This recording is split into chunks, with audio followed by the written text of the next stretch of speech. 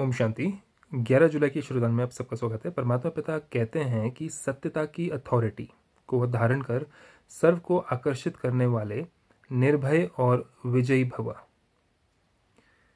आप बच्चे, सत्यता की शक्तिशाली श्रेष्ठ आत्माएँ हो। सत्य ज्ञान, सत्य बाप।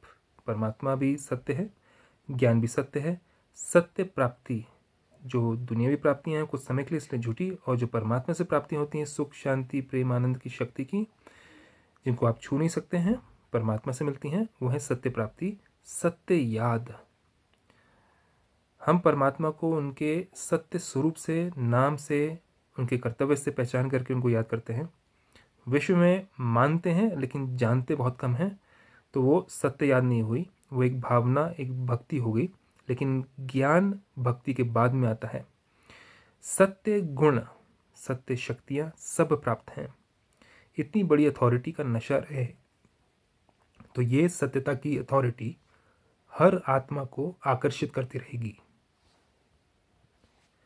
झूठ खंड में भी ऐसी सत्यता की शक्ति वाले विजयी बनते हैं। झूठखंड अभी की बात हो रही है, कलयुग को कहा जाता है झूठखंड इसमें भी ऐसी सत्यता की शक्ति वाले विजय बनते हैं। विजय बनने के लिए क्या क्या चाहिए?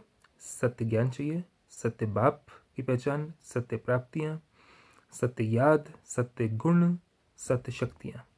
सत्यता की प्राप्ति खुशी और निर्भयता है। सत्यता की प्राप्ति क्या है?